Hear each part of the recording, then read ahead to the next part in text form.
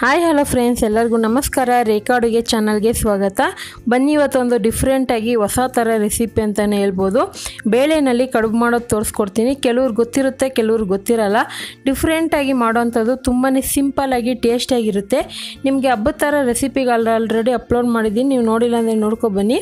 ಇವಾಗ ಬೇಳೆ ಕಡುಬು ಯಾವ ರೀತಿ ಮಾಡೋದು ಇದಕ್ಕೆ ಬೇಕಾಗೋ ಇಂಗ್ರೀಡಿಯೆಂಟ್ಸ್ ನೋಡೋಣ. ಇದಕ್ಕೆ ನೋಡಿ ಈ ಥರ ಕಪ್ಪಲ್ಲಿ ಅರ್ಧ ಕಪ್ ಆಗೋಷ್ಟು ನಾನು ಕಡಲೆಬೇಳೆ ತೊಗೊಂಡಿದ್ದೀನಿ. ಅರ್ಧ ಕಪ್ ಆಗೋಷ್ಟು ಅಕ್ಕಿ ಹಿಟ್ಟು ನಾರ್ಮಲ್ ಅಂಗಡಿಯಲ್ಲಿ ಸಿಗುವಂಥದ್ದೇ. ಅರ್ಧ ಕಪ್ ಆಗೋಷ್ಟು ಬೆಲ್ಲನ ಕುಟ್ಟಿ ಪುಡಿ ಮಾಡಿ ಇಟ್ಕೊಂಡಿದ್ದೀನಿ. ಒಂದು ಮೂರು ಟೇಬಲ್ ಸ್ಪೂನ್ ಆಗೋಷ್ಟು ತೆಂಗಿನಕಾಯಿನ ತುರಿದಿಟ್ಕೊಂಡಿದ್ದೀನಿ. ಅರ್ಧ ಟೀ ಸ್ಪೂನ್ ಏಲಕ್ಕಿ ಪುಡಿ, ಎರಡು ಟೇಬಲ್ ಸ್ಪೂನ್ ತುಪ್ಪ. ಈಗ ಯಾವ ರೀತಿ ಮಾಡೋದಂತ ನೋಡೋಣ.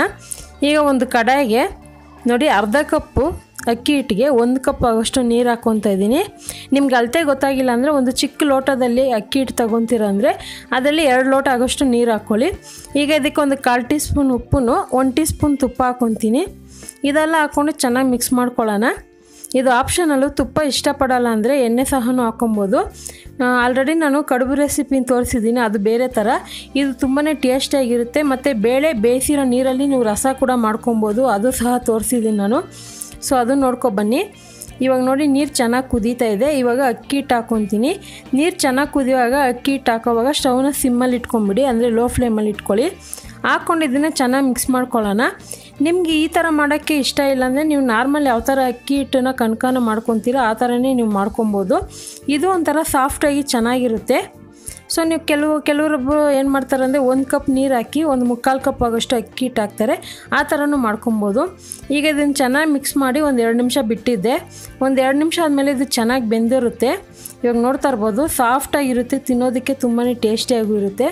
ಈಗ ಇದನ್ನು ಒಂದು ಐದು ನಿಮಿಷ ಹಾಗೆ ತಣ್ಣಗೆ ಹಾಕಿಬಿಡ್ತೀನಿ ಇವಾಗ ಊರನ್ನ ಯಾವ ರೀತಿ ಮಾಡೋದು ಅಂತ ನೋಡೋಣ. ನೋಡಿ, ಕಡಲೆಬೇಳೆನ ನಾನು ಚೆನ್ನಾಗಿ ಎರಡು ಸರಿ ತೊಳೆದು ಕುಕ್ಕರಲ್ಲಿ ಎರಡು ಕಪ್ ನೀರು ಹಾಕಿ ಎರಡರಿಂದ ಮೂರು ವಿಸಿಲ್ ಕೂಗಿಸಿ ಬೇಯಿಸಿ ಎತ್ತಿಟ್ಕೊಂಡಿದ್ದೀನಿ. ತುಂಬಾ ಸಿಂಪಲಾಗಿ ಇವಾಗ ಒಬ್ಬಟ್ಟಿಗೆ ಯಾವ ರೀತಿ ಬೇಳೆ ಬೇಯಿಸ್ತೀರಲ್ವ ಅದೇ ರೀತಿಯೇ ಇದನ್ನು ಬೇಯಿಸ್ಕೊಳ್ಳಿ.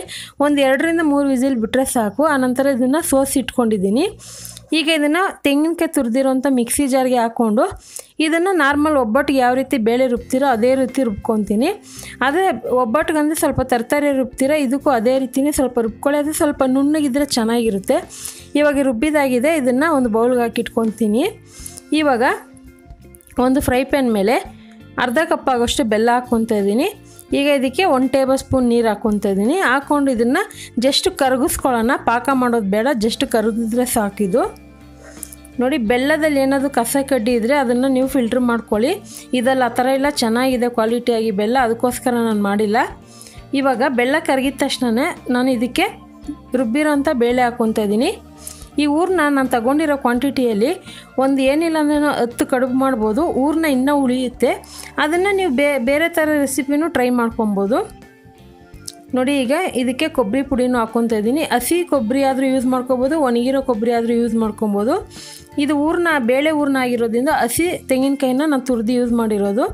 ಇದಕ್ಕೆ ಏಲಕ್ಕಿ ಪುಡಿನೂ ಒಂದು ಟೀ ಸ್ಪೂನ್ ತುಪ್ಪ ಹಾಕ್ಕೊಂಡು ಒಂದು ಎರಡು ನಿಮಿಷ ಮಿಕ್ಸ್ ಮಾಡಿದ್ರೆ ಸಾಕು. ಇದು ಒಂದು ಅದಕ್ಕೆ ಬರುತ್ತೆ.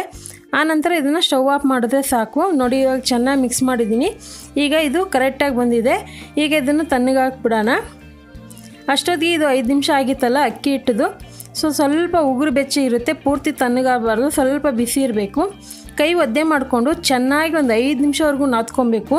ಕೈಗೆ ಒಂದು ಚೂರು ಅಂಟಬಾರ್ದು. ಆ ಥರ ನಾದ್ಕೊಳ್ಳಿ. ಕರೆಕ್ಟಾಗಿ ನೀವು ನಾದ್ಕೊಂಡ್ರೇ ನಿಮಗೆ ಶೇಪ್ ಅನ್ನೋದು ಬರೋದು, ಇಲ್ಲಾಂದರೆ ಕ್ರ್ಯಾಕ್ ಬಿಟ್ಕೊಳ್ಳುತ್ತೆ ಇಟ್ಟು ಈ ಕಡುಬು ಮಾಡೋದಾದರೆ ಇದನ್ನು ತುಂಬ ಫಾಲೋ ಮಾಡಬೇಕು, ಟಿಪ್ಸ್ಗಳು. ಇಲ್ಲಾಂದರೆ ಅದಕ್ಕೆ ಸರಿ ಬರೋದಿಲ್ಲ. ಚೆನ್ನಾಗಿ ಒಂದು ಐದು ನಿಮಿಷ ನಾದ್ಕೊಂಡ್ಮೇಲೆ ಈಗ ಕೈಗೆ ಒಂದು ಸ್ವಲ್ಪ ತುಪ್ಪ ಇಲ್ಲ ಎಣ್ಣೆ ಹಚ್ಕೊಳ್ಳಿ. ಹಚ್ಕೊಂಡು ಸ್ವಲ್ಪ ಮೀಡಿಯಮ್ ಸೈಜಾಗಿ ತಗೊಳ್ಳಿ. ನೋಡಿ, ನಾನಿಲ್ಲಿ ಬಟರ್ ಪೇಪರು ಅಥವಾ ಆಯಿಲ್ ಪೇಪರ್ ಯಾವುದಾದ್ರೂ ಯೂಸ್ ಮಾಡ್ಕೊಬೋದು. ಅದ್ರ ಮೇಲೆ ಸ್ವಲ್ಪ ಲೈಟಾಗಿ ಪೂರಿ ಸೈಜ್ಗೆ ಲಟ್ಟಿಸ್ಕೊತೀನಿ. ನಿಮ್ಮ ಹತ್ರ ಹಚ್ಚಿದ್ರೆ, ಮೋದಕದ ಹಚ್ಚಿದ್ರೆ ಅದರಲ್ಲೂ ಮಾಡ್ಕೊಬೋದು. ಈ ಥರ ಒಂದು ಸರಿ ಅಂತ ಈ ಥರ ಮಾಡ್ತಾಯಿದ್ದೀನಿ ರೌಂಡ್ ಶೇಪ್ದು ಇವಾಗ ಬೇಳೆ ಹೂರ್ಣನೂ ಇಟ್ಕೊಂಡು ಇದನ್ನು ರೌಂಡ್ ಶೇಪಾಗೆ ಕವರ್ ಮಾಡ್ಕೊತೀನಿ. ನೀವು ಬೇಕಂದರೆ ಮೋದಕ ಶೇಪಲ್ಲೇ ಮಾಡ್ಕೊಬೋದು. ಇದೊಂದು ಥರ ಆಯಿತಾ? ಇನ್ನೊಂದು ಥರ ನನ್ನ ಕೈಯಲ್ಲೂ ಮಾಡಿ ತೋರಿಸ್ತೀನಿ ನೋಡ್ಕೊಳ್ಳಿ.